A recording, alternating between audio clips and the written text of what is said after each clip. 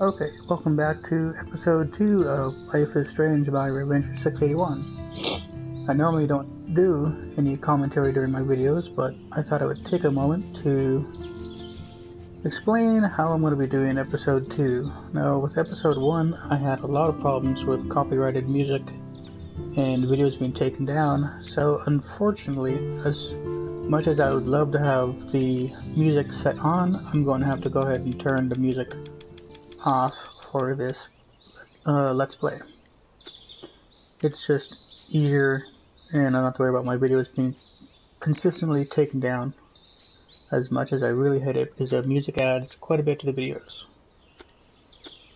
Anyways, we're going to be continuing from my last episode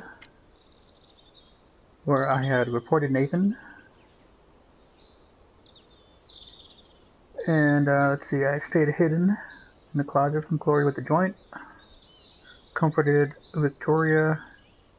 I helped out Kate as much as I wanted to get hard evidence.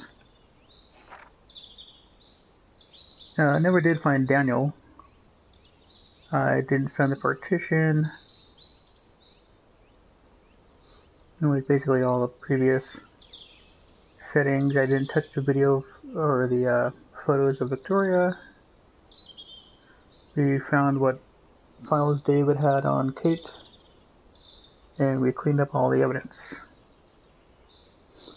So, with that being said, let's get to it.